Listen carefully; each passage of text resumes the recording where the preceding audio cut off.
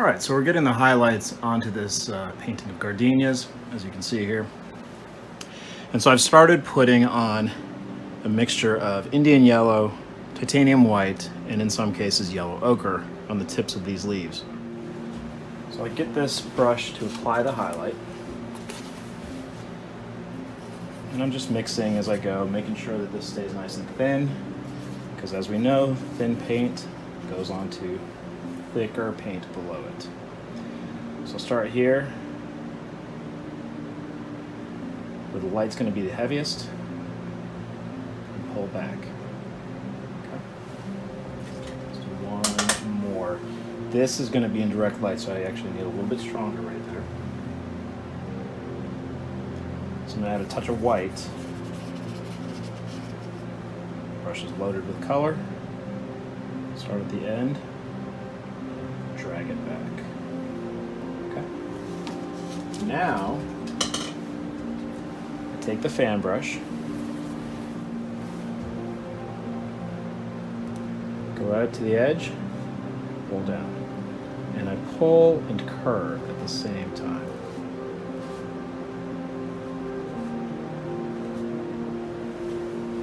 brush, and now I'll pull up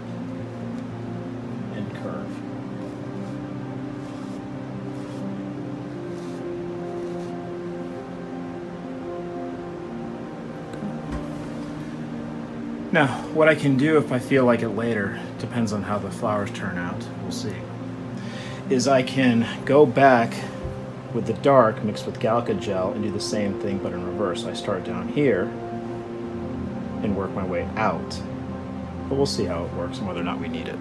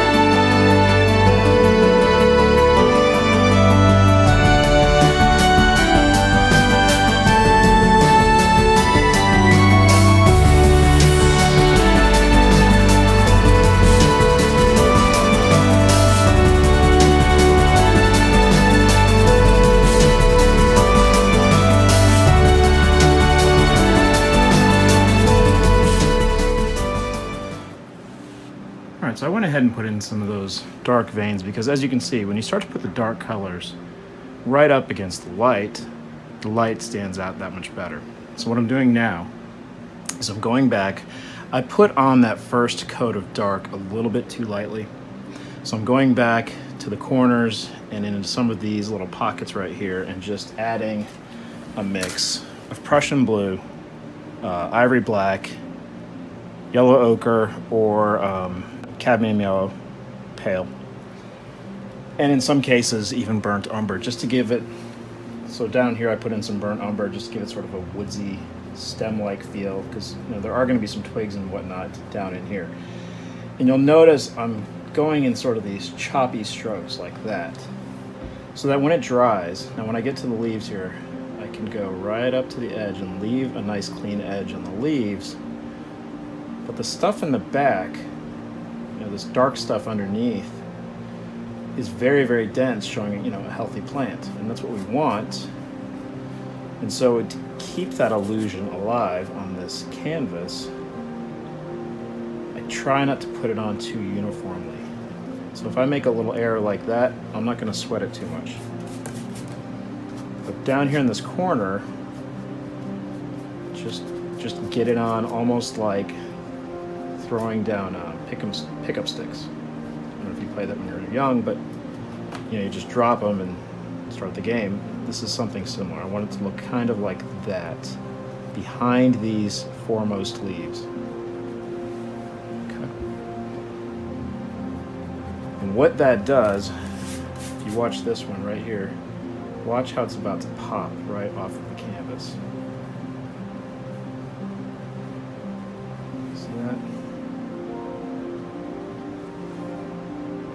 A lot better. And see right here, I can fill that in.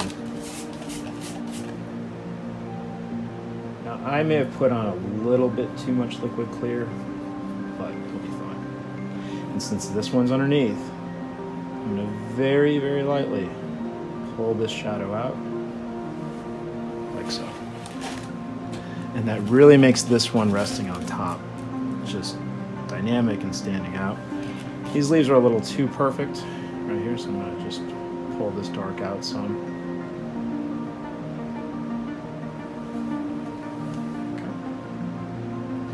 So after this, we should be ready to get into the flowers proper. Now this part up here, I'm gonna leave it a little bit lighter like it is. Maybe put a few twiggy looking formations like that, particularly around the leaves so they can jump off the uh, canvas at us, but I want it to have some dynamism up there too.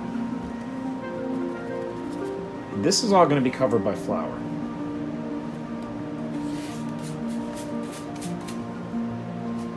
The blossoms are going here and here. So I think we're in pretty good shape now. And I'll confess, you know, doing this so darkly in the back, for me, is extremely counterintuitive. And I got to give credit to uh, Bill Alexander and his show because he, he hammers this point home over and over and over again that light on light is nothing light on dark, on the other hand, just pops the way we want.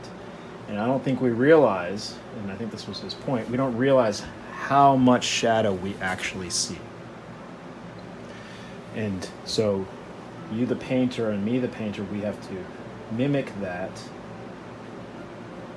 We think we're seeing all these light colors, but the only reason we're seeing them in our day to day life is because of the fact that there's all this shadow, this contrast. In fact, we don't like being in washed out light. It's uncomfortable. And so, you, the artist, get to choose what pops and what goes into the background, but it's all important and it all has its place. So now, the last thing I'm going to do on these leaves for now is I'm gonna go ahead and just settle all the paint on it like this. Just gently pull everything together and soften it just a touch. Just barely grazing the leaf. I don't want to blend out everything that you've done. Just soften it a little bit.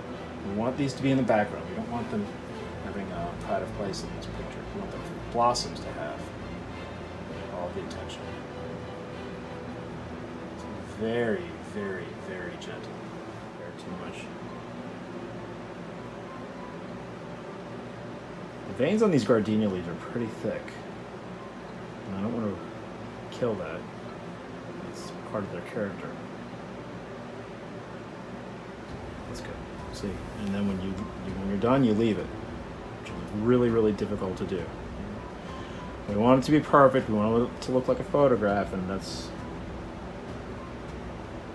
a temptation we have to overcome. Myself included, when I say we. I will fuss with a painting to death, and then I end up ruining the magic that got me to paint in the first place.